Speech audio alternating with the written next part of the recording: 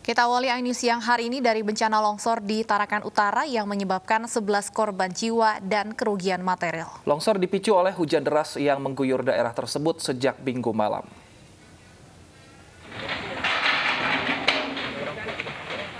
Longsor yang melanda Kelurahan Juata Permai, Tarakan Utara, lima rumah terdampak di antaranya tiga rumah rusak berat dan dua rumah rusak ringan.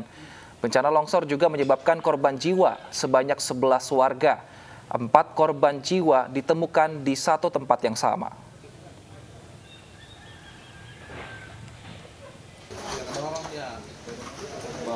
Sebelumnya hujan lebat sejak minggu malam memicu longsor di kota Tarakan.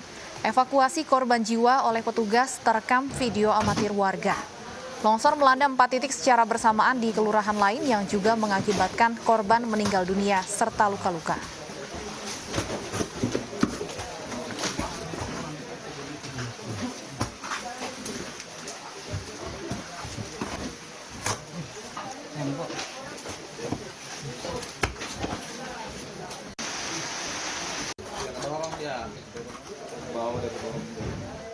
Dan untuk mengetahui perkembangan terbaru bencana longsor di Tarakan Utara, kita sudah terhubung dengan Dede Haryana, Kasubsi Operasi Basarnas Kalimantan Utara.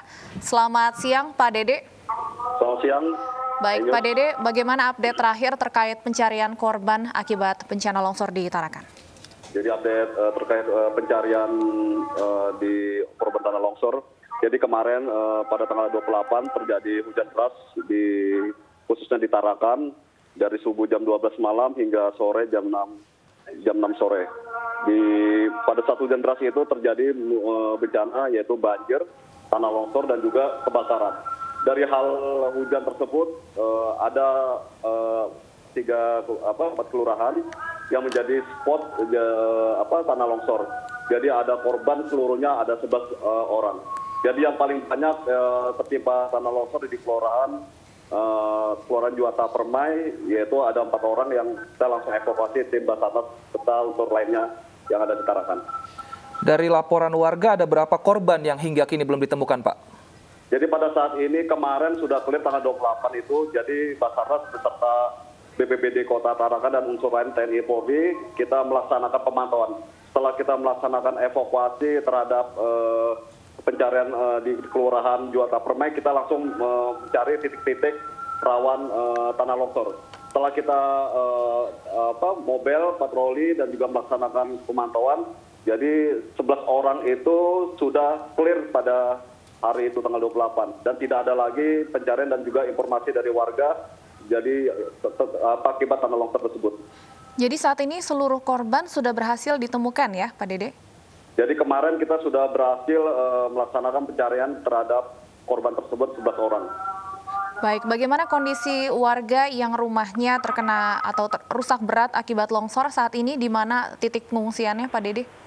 Jadi Basarnas ini berfungsi hanya sebagai fokus uh, bertugas melaksanakan evakuasi, pencarian, dan pertolongan. Setelah itu BBBD yang sebagai IC Commander yang melaksanakan uh, rehabilitasi terhadap Eh, rumah-rumah longsor tersebut. Apakah di sana masih musim hujan Pak Dede dan apa antisipasi dari pihak Basarnas untuk mengimbau warga agar tetap hati-hati akan terjadi longsor susulan?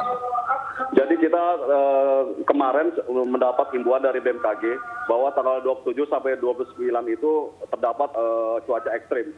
Jadi kita Basarnas walaupun tidak ada peringatan tersebut tetap kita melaksanakan kesiapsiagaan dalam melaksanakan pemantauan tersebut. Apalagi tanggal 27 sampai 29 itu terdapat uh, curah hujan yang lebat khususnya di Kalimantan Utara dan sekitarnya. Jadi kita uh, melaksanakan mobil patroli terhadap titik-titik yang rawan uh, tanah longsor karena kebanyakan di Kalimantan Utara ini pusat Tarakan rumah-rumah banyak yang di bawah bukit atau di pegunungan. Jadi rawan longsor tersebut. Baik, terima kasih Pak Dede Haryana sudah bergabung bersama kami di iNews Siang.